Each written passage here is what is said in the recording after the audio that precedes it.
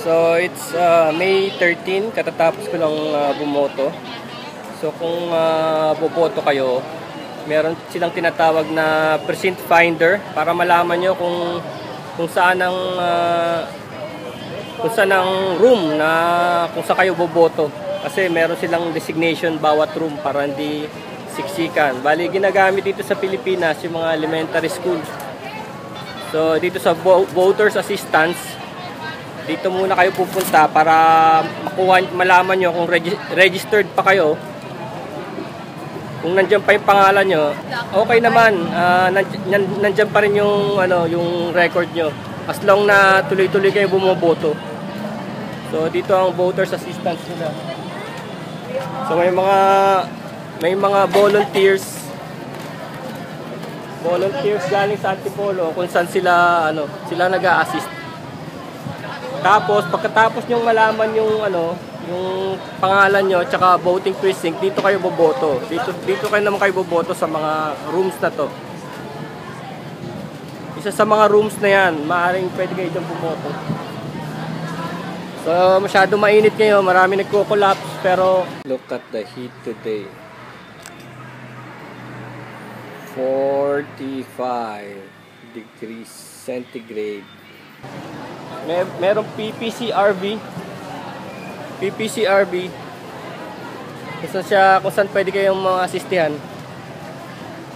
So hindi masyadong marami yung voter. Sana marami yung voter turnout. Pero maraming kabataan. Kaya nakakatuwa. Maraming kabataan na bumoboto. So yan. St. Gabriel, Lady of Sorrow. So yun lang po. Exercise your right to vote.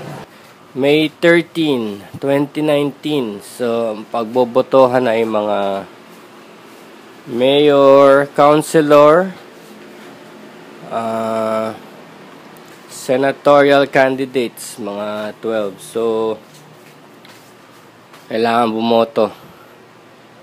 So, it's a democratic right at uh, malaki ang ginagastos dito ng gobyerno sa democratic right natin na ito na bumoto ng ating mga leader.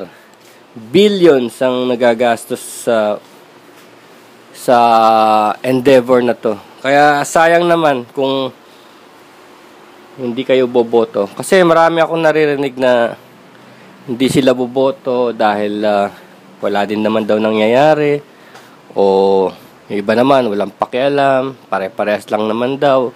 Tapos sayang yung long weekend. Pwede nilang gugulin sa ano, sa swimming, sa outing. Kasi walang pasok ngayon eh. It's a Monday. So, kung nag-start sila ng Friday, so for uh, Saturday, Sunday, Monday.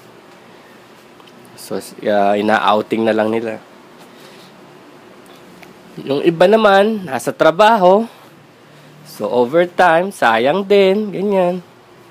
Iba naman, hindi na nakarehistro. Iba naman, sinasabi, mainit. Pero sana naman isipin nyo na ang direksyon ng ating bansa ay nakasalalay sa mga namumuno. Ganda ng motor na to, ay Harley! Harley Davidson 750